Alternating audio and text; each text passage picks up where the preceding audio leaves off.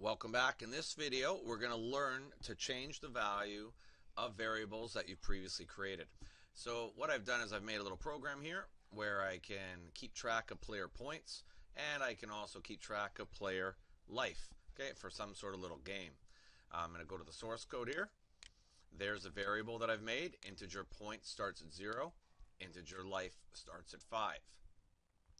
In the constructor, I show them into the text boxes using the text command.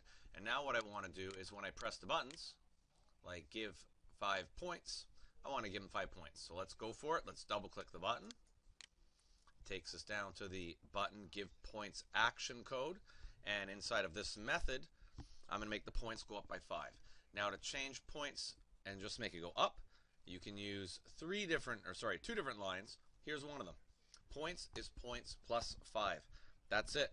It basically says, hey, set the points variable equal to whatever the points currently is plus another 5.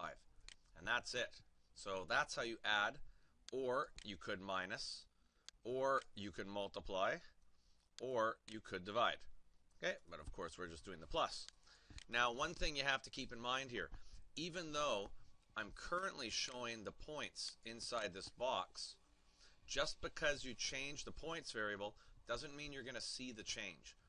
If you want to see the change, you actually have to make that a command that you do. So text points, set the text, and show the points variable in there.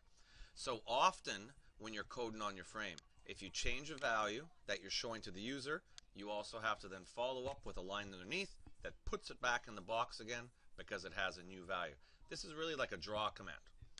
Okay, let's give this a go here. Java Frame 1. Give it a quick run here. And not that you doubt it won't work, but, whoops, you'll see here, give points, and it keeps going up every time I click it. And that's really all there is to that one. Now, I had said that there was two ways to do it. I'm going to comment that line out with the slash slash. Here's another way. You can also write it like this. Okay, this is just a shorter version of the line above that I had working. Points plus equals 5 just means points equals points plus 5. So I don't care which one you use. Use this one, use this one. They're both going to work, and they both make the points go up. Now, one other thing I'll show you here is I'm going to show you one last little command here. Lose life. Okay, it's going to take the life down. I'll double click. You'll see here I had a variable called life as 5. Let's say I want to go down by 1 every time. So I'm going to go to the lose life code. And I'm going to do something very similar here. So here's what I could do. I could say life equals life minus 1. Text life, set text. Lives left. Life. Okay, and if it works, I'll just test it out. And there it pops up, and as expected, every time I click, the lives goes down. No, I've done nothing here. It's just going to keep going down and down and down and down and down. The last thing in this video I'm going to show you is the short version of this. So instead of life equals life minus 1, I could have also gone life minus equals 1. Okay, that'll also work. So really quickly, just show you that one. And it still works.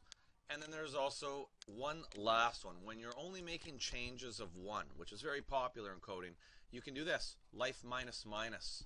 Okay, it will drop life down by one. And so that's a short form.